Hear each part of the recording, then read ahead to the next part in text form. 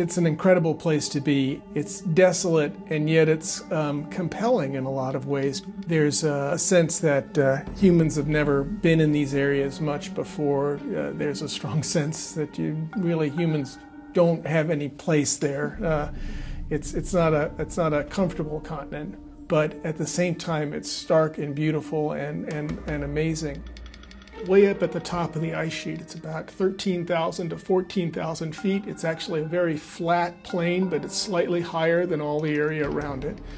That's the area we started looking at. There's a, uh, a lot of atmospheric science and climate science that's behind what produces the coldest temperatures in Antarctica. The home of all of that is this area along the ridge, the highest part of the ridge in East Antarctica. Um, where if conditions are right, the temperatures plummet to extremely low levels, past the previous record low temperature recorded at, uh, by the Russians at a base called Vostok.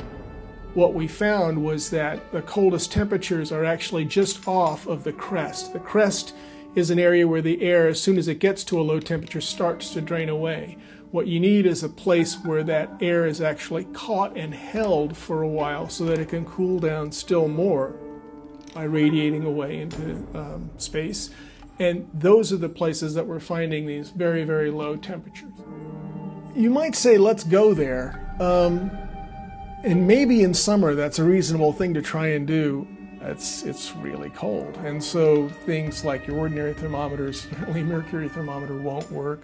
An alcohol thermometer will have a lot of trouble. We're talking about temperatures that are 50 degrees colder than anything that has ever been seen in Alaska or in Siberia or certainly in North Dakota or Montana.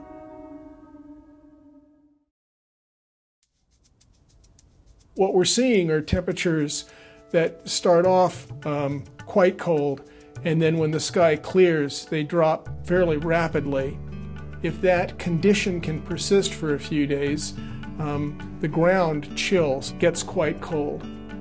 The ground itself is radiating away the heat into space, into clear space.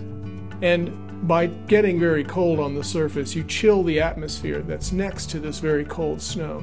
This lower layer that's getting very cold under the clear sky conditions is denser and it starts to slide down this huge dome of Antarctica. What you need is a place where that air is actually caught and held for a while. So by causing the airflow to be stationary for an extended period, you get the absolute lowest temperatures that we're able to find.